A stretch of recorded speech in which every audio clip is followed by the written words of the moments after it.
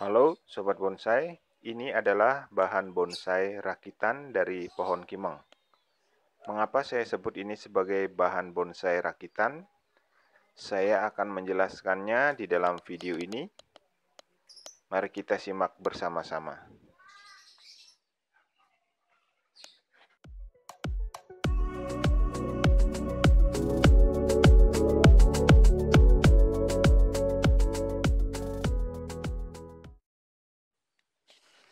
Oke Sobat Bonsai, mengapa saya mengatakan ini sebagai bahan bonsai rakitan? Alasannya adalah karena seluruh percabangannya itu adalah hasil dari sambungan atau grafting. Jadi teman-teman bisa lihat dari ujung itu semuanya adalah hasil sambung atau grafting ya. Nah, ini awalnya batangnya merupakan hasil dari pangkas akar indukan kimeng yang lumayan besar.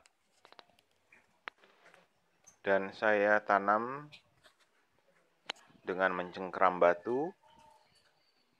Jadi ini berbentuk seperti huruf S tapi awalnya berbentuk seperti gelang ya. Kemudian saya tarik ujungnya ke atas dan saya beri penopang sehingga ujungnya mengarah ke atas dan membentuk seperti huruf S. Nah, ini rencananya batang yang kecil-kecil ini akan saya panjangkan, kemudian saya akan membuat tempel susu yang mengarah ke atas karena ada jaringan akarnya yang mati. Nah, di bagian belakang ini sebagian akarnya terpotong tapi sudah mulai tumbuh. Jadi saya tanam di atas panci ini teman-teman. Karena uh, lumayan memadai untuk saya membuat ikatan yang kuat. Jadi pada saat saya tongkat ke atas, pohonnya tidak terungkit juga. Nah, rencananya saya akan membuat uh, cabang baru di bagian belakang sini. Ya. Di sekitar sini saya akan membuat cabang baru karena saya merasa bahwa untuk latar belakang belum ada. Jadi saya akan membuat latar belakangnya di sebelah sana. Nah, kita saksikan lagi. Ini adalah potong akar yang disambung dengan batang kimeng. Jadi di sini saya mengawati seadanya hanya untuk mengarahkan saja. Dan ini ada beberapa potongan yang saya sambung dan kesemuanya hidup ya teman-teman. Tapi nantinya saya akan seleksi lagi. Jadi saya biarkan dulu tumbuh subur dan tidak begitu banyak saya melakukan pruning.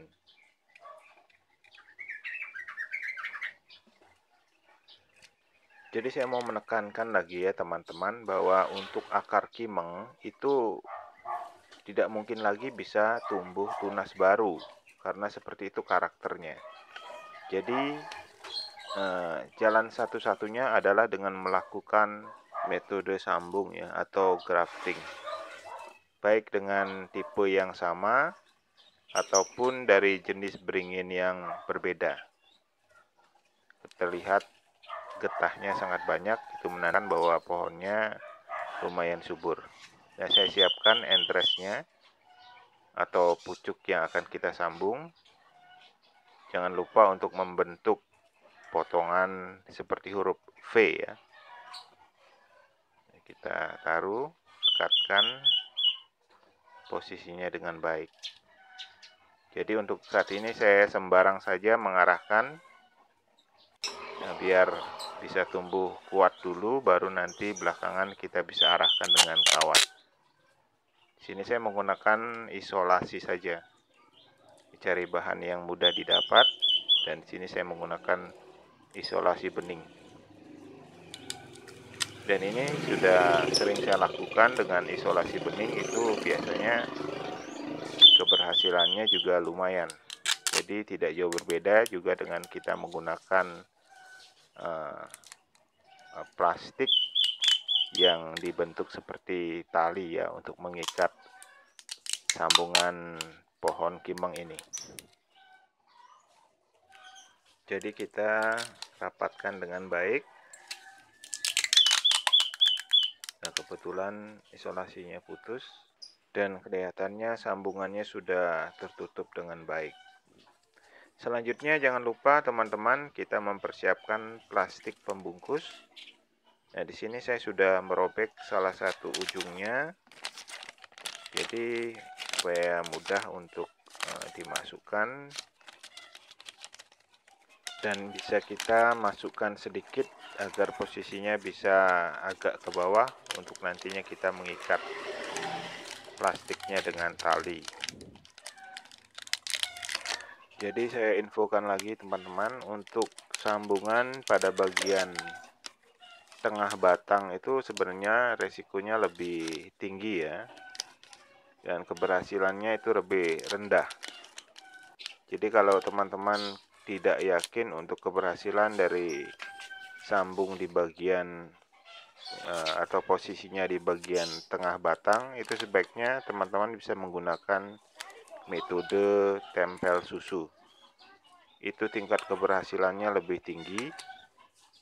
Namun prosesnya mungkin lebih membutuhkan waktu yang uh, agak lama. Kalau dari cara sambung seperti ini kita bisa melihat hasilnya dalam jangka waktu 2 sampai 3 minggu kemudian. Dan yang terakhir jangan lupa ditaruh di tempat yang teduh dan seminggu kemudian bisa kita buka sungkupnya dan perlahan-lahan kita ajar untuk kena matahari secara langsung. Oke, semoga ini bisa menginspirasi ya teman-teman dan sampai jumpa lagi di video-video selanjutnya. Sampai bertemu, salam bonsai.